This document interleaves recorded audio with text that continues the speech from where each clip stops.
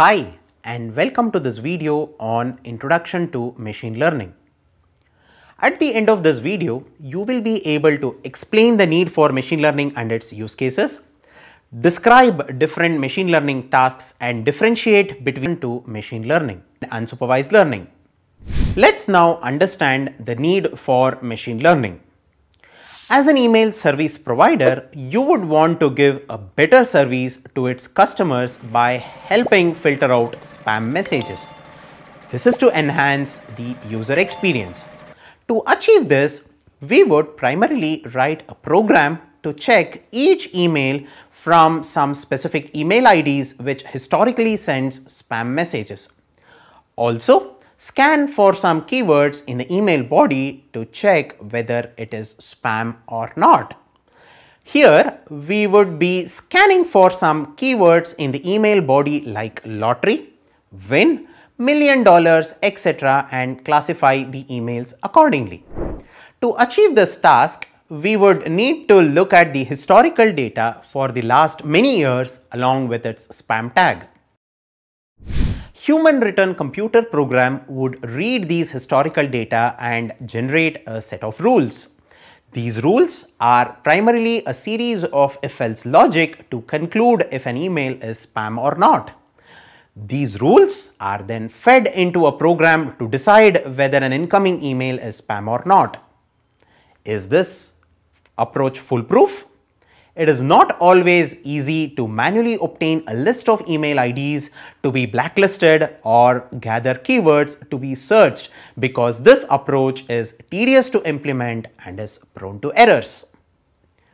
Alternatively, instead of a human written computer program to solve this problem, we can have an algorithm which would automatically read the historical data and generate a series of rules. Isn't it smart? Yes, this is what machine learning does. Now, let's formally define what is machine learning. Machine learning is a subfield of computer science that gives computers the ability to learn without being explicitly programmed. Machine learning consists of historical data, algorithms and statistical model to extract the rules and programs which feed in the historical data to the algorithm. Now, let's understand the applications of machine learning. Automated cars calculating the forthcoming traffic sign to control motion accordingly, helping banks making credit decisions, companies to choose their best marketing channels, enhancing the online customer experience by filtering out spam messages, recommending articles based on customer reading preferences, etc. Machine learning tasks can be broadly classified as supervised and unsupervised learning. Regression and classification are common machine learning tasks under supervised learning. Clustering and recommendation engines are common machine learning tasks under unsupervised learning. Now, let's look at the common machine learning tasks. Regression is a machine learning task for predicting the value of the continuous numerical variable based on how a variable is related to some other variables. An example of regression would be an online retail store like Amazon or Flipkart which can predict how much money can a customer spend based on his or her purchase history and user interaction on their mobile apps. On the other hand, classification is predicting the class of a given data point which is categorical in nature. Example for classification involves a bank predicting whether a customer will pay his due or not based on the customer's credit history. Another example of classification is controlling a self-driving car while determining the speed limit by following traffic signs. Here, the picture of the traffic sign is observed to classify it to take the appropriate decision. And both regression and classification involves making predictions which fall under the category of supervised learning.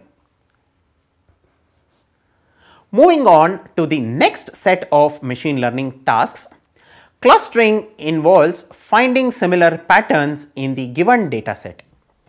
For example, grouping segments of customers who are similar on certain sets of attributes like demography, buying behavior, etc. helps business understand the customer behavior patterns.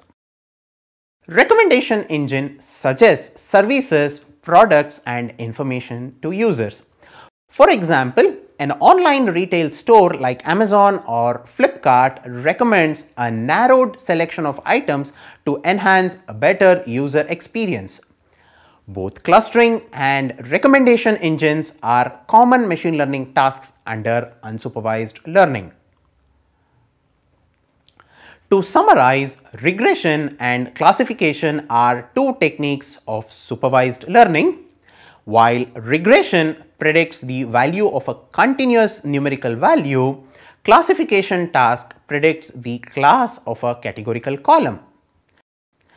Regression task uses the historical data about customer demographics of gender, income and age to build an algorithm to predict the amount spent by the customer in a retail store. The algorithm will learn to predict amount spent of a new customer with the available information about their gender, age and income. Let's now understand classification task in more detail. Classification task can be used to help a bank use the historical customer data of gender, income and age to train an algorithm to classify its customers as valuable or not.